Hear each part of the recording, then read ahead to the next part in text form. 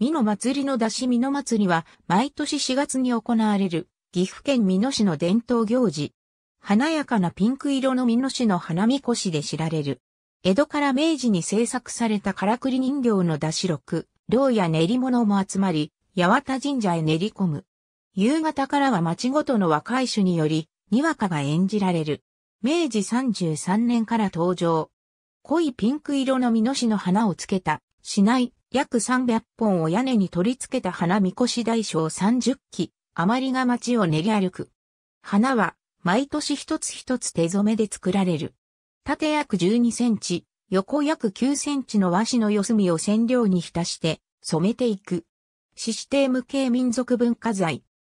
Https コロンスラッシュスラッシュ facebook.com スラッシュミノ .hanamikoshi.oyser スラッシュダッシュの間を、桃太郎や浦島太郎、花坂かじいさんなどの衣装を着た練り物が、登場にわか車を中心とした笛、太鼓、証拠などのにわか林を演奏しつつ、街中をめぐり、指定の十数箇所でにわかを演じる。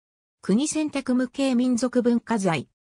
うだつの上がる、街並みの春彩る13、14日に美の祭り。岐阜新聞。http://www.gifu-np.co.jp スラッシュホットスラッシュ20130402スラッシュ2013040210177234 SHTML2013 年8月17日閲覧。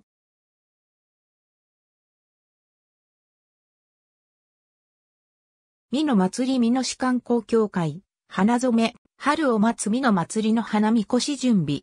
47ニュース、http コロンスラッシュスラッシュ www.47news.jp スラッシュ localnews スラッシュ gifu スラッシュ2013スラッシュ01スラッシュポストに受長1300 1億1610万3058 html2013 年8月17日閲覧ありがとうございます。